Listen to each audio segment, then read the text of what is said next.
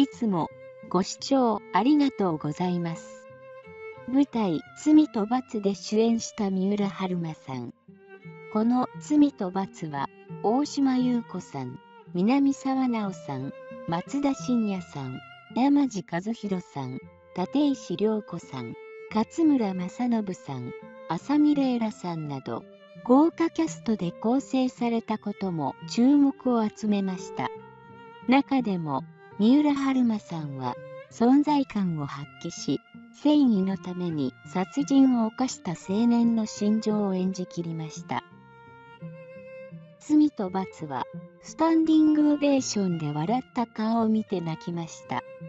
迫力満点の演技力。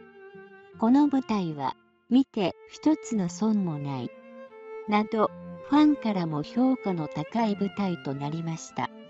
ただその舞台裏には三浦春馬さんが関係者に気遣いを見せるなど努力があったことも成功した理由とも言われています。ファンから注目されていたのは三浦春馬さんと初共演した大島優子さんです。大島優子さんは海外留学後初めての舞台ということで緊張していた様子でしたが三浦春馬さんが舞台裏でフォローしていたようです三浦春馬さんは取材で大島優子さんのことを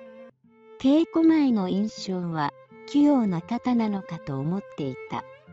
稽古中なかなかうまくできない瞬間がありそこで感極まってしまった瞬間があってこんなにまっすぐに向き合う方なんだと感じた。と語っています。どのような現場であっても関係者に気を使う三浦春馬さんですが、罪と罰の舞台裏でもいつも通りの気遣いを見せていたようです。さらに、三浦春馬さんは舞台稽古中にとあるメモを渡したことを舞台会見で大島優子さんにばらされたといいます三浦春馬さんは言わなくていいから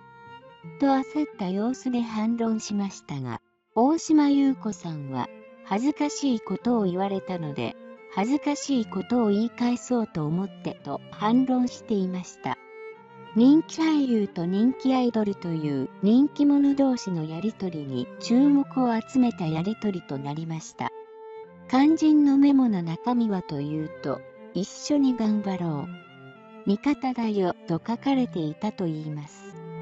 久しぶりの舞台での演技に苦しむ大島優子さんのことを考えてのメモであったことが明かされました。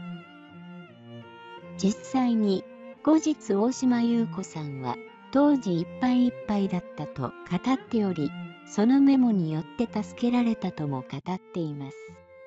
人気アイドルとして活躍した大島優子さんですが、共演者からメモをもらうということには慣れていなかったようで、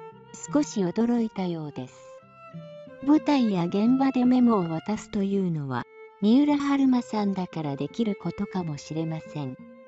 自分のことだけでなく、現場全体の雰囲気を読めるからこそ、どのようにして伝えたらいいか、相手のことを最大限に考えた結果、メモというおしゃれな伝え方になったのではないでしょうか。さすが三浦春馬さん。気配りが半端じゃないですね。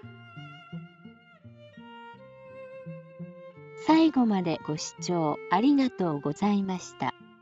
では、また。